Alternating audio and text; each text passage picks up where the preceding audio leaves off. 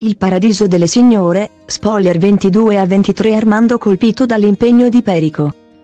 Non mancheranno i colpi di scena nelle puntate del Paradiso delle Signore in programma mercoledì 22 e giovedì 23 febbraio.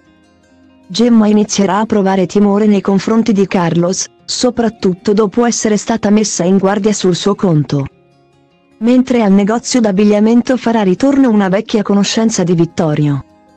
Al circolo ci sarà un grosso problema che metterà Marcello in una posizione del tutto scomoda, infatti avverrà un furto. Intanto Armando Ferraris resterà profondamente colpito dall'impegno di Alfredo Perico per conquistare Irene. Nella puntata di mercoledì 22 febbraio del Paradiso delle Signore l'attenzione si concentrerà soprattutto su Carlos. Nonostante in un primo momento Gemma abbia reagito con nonchalance davanti all'oscuro segreto del suo spasimante, finirà per cambiare idea. Tutto ciò avverrà il giorno seguente alla serata trascorsa insieme e Gemma non esiterà a parlarne con Roberto Landi, mettendolo al corrente dei suoi timori riguardanti Carlos. All'atelier la situazione si ingarbuglierà quando Maria, una volta portati al termine dei bozzetti, non si sentirà abbastanza soddisfatta da mostrarli al direttore Conti.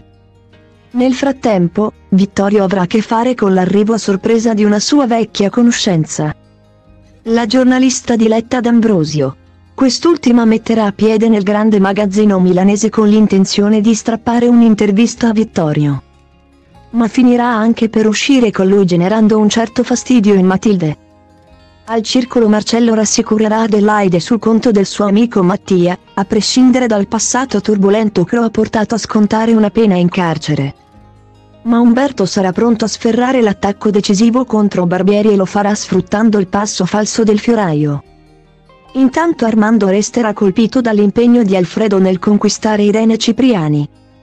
Nella puntata di giovedì 23 febbraio del Paradiso delle Signore Salvatore, seppur non voglia dare false speranze a Elvira, deciderà di darle una mano con le lezioni di ballo.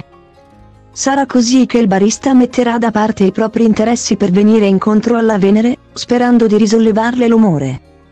Al circolo ci sarà del fermento a causa di un furto. Mattia confesserà a Marcello le proprie responsabilità in merito all'accaduto ma Barbieri intuirà che dietro al gesto dell'amico si cela lo zampino del commendatore Guarnieri. Nel frattempo Vittorio verrà a sapere da Diletta che i due già si conoscono. La giornalista è una vecchia conoscenza del direttore del Paradiso delle Signore. Infatti diverso tempo prima avevano avuto modo di lavorare insieme per un'agenzia pubblicitaria.